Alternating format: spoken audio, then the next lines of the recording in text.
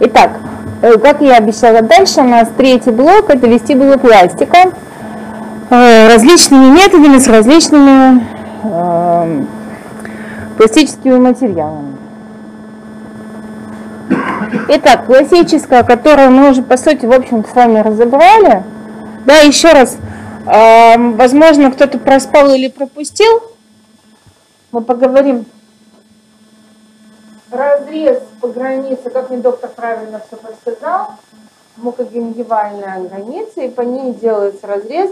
Скальпель устанавливается параллельно альвеолярному гребню, и вот здесь вот все слизисто-мышечные ткани начинают отсекаться вот по этой зоне. Депитализация принимающего ложа.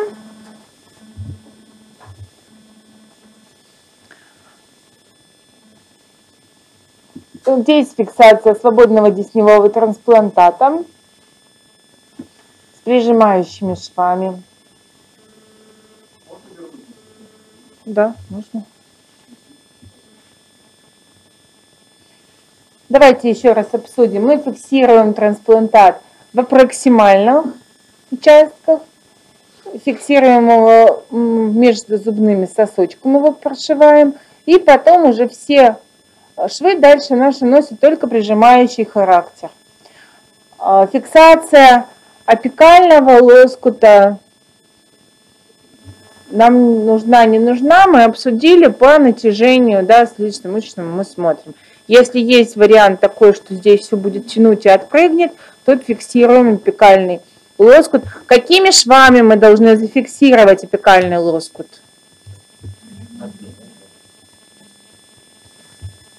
Субкристальными. Только этот шов имеет смысл, да? Только к надкоснице, если вы пришьете его, тогда это имеет смысл. Все остальное это просто вышивка гладью бессмысленная. Ну, собственно, тут обсуждать нечего, все старо как мир, все работает, доказывать, мне кажется, странно. А, разрезы в фронтальных боковых участках э, при вестибулопластике при апикальном смещении выполняются по мукогенгивальной границе. Э, принимающая ложа, например, если это э, зона адентии, да, там переимплантная зона – она все равно готовится это одинаково, она депитализируется для создания э, будущего питания. И фиксация свободного десневого трансплантата. Понятно, что в этом случае при открытом методе мы применяем только свободный десневой трансплантат, депитализированный по периметру.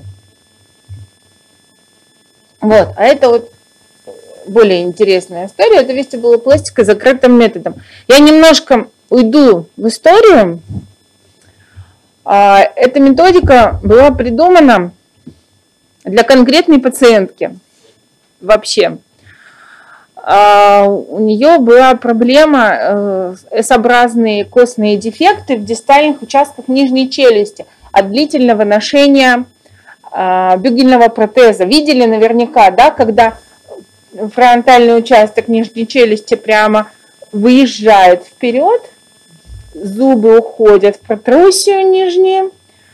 И сзади мы имеем два катастрофических а, по вертикали атрофических дефекта, которые, ну, к сожалению, не запротезировать никакими имплантатами, ни короткими, ни суперкороткими. Не знаю, может, еще там что-нибудь придумали.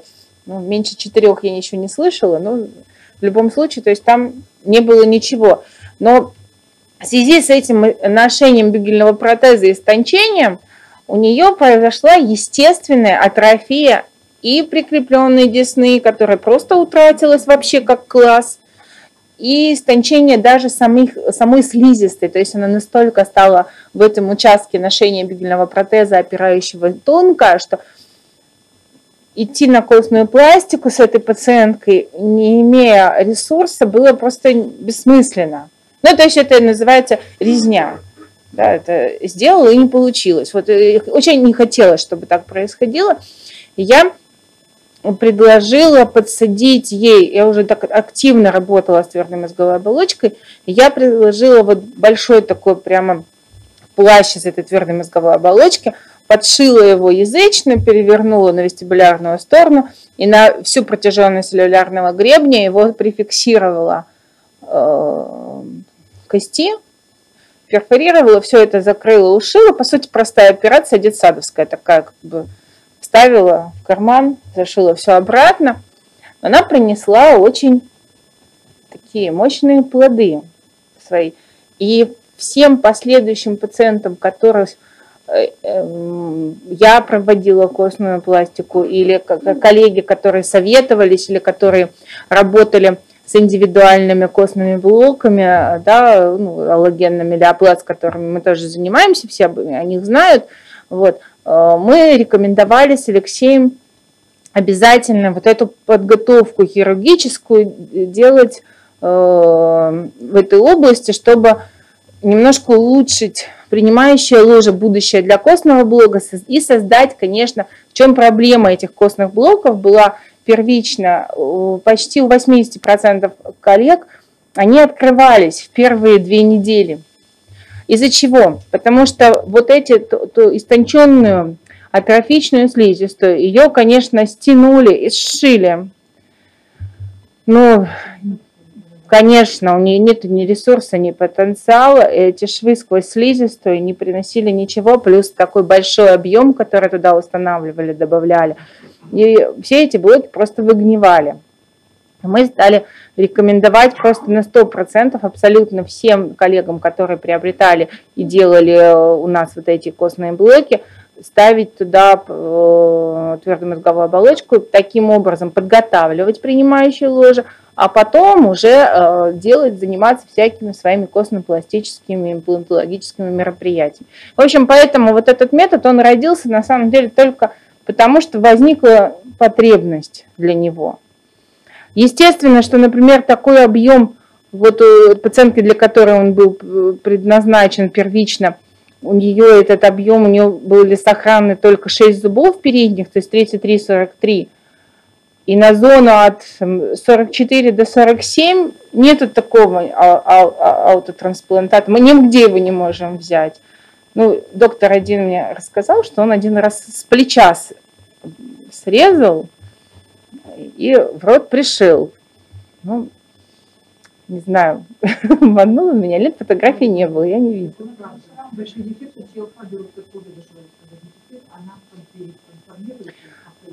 Я видела волосы у таких пациентов во рту. Есть такой, да, я, я такое видела, конечно. Но, в общем, все лирика мы так не делаем, да, мы не в стационаре в основном все работаем, и возможности для таких трансплантаций у нас нету. Да, точно я могу. Хотя я не думаю, что забрать кусок дермы сложнее, чем забрать э, кусок с неба, может, да даже и проще, у тебя здесь не, это, нет слюны, крови и э, поверхность открытая. Но тем не менее, в общем, мы этого не делаем. Естественно, встал опять вопрос, дефицит ауто своего э, ткани и возможности да, пластического материала, который надо было просто вот расширить еще каким-то показаниям. И таким образом э, был разработан вот этот метод, который работает очень многие коллеги, которые применяют э, костные блоки, там, э, логенные индивидуальные или просто свои, или а, аутокостные блоки, кто-то берет там и из ребра, из темени, из ретромолярного пространства, откуда хотят. Они тоже делают все сейчас подготовку вот этим методом. Ну, очень многие, во всяком случае, те, кто пользуется э, продукцией Леопласта, они работают вот этим методом, и он стал очень эффективным. У меня нету клинических примеров фотографий. Я вам объясню почему. Очень большая сложность съемки вот этого участка дистального на нижней челюсти. Это только благодаря Софье, которая у нас появилась два года назад, мы теперь с ней научились это делать. Мы до этого ничего не получалось, это все можно было выбросить в мусор, все эти фотографии, что на них ничего не видно было. Вот мы с Соней постепенно выработали определенный угол пациента, как его посадить, как его повернуть, чтобы хотя бы у тех, у кого хорошо открывается рот, это можно было увидеть. Поэтому ну, я вот приношу сведения. Будем сейчас наращивать И к какому-то следующей нашей встрече, через сколько-то лет, мы обязательно я покажу, как это работает и как это действительно выглядит.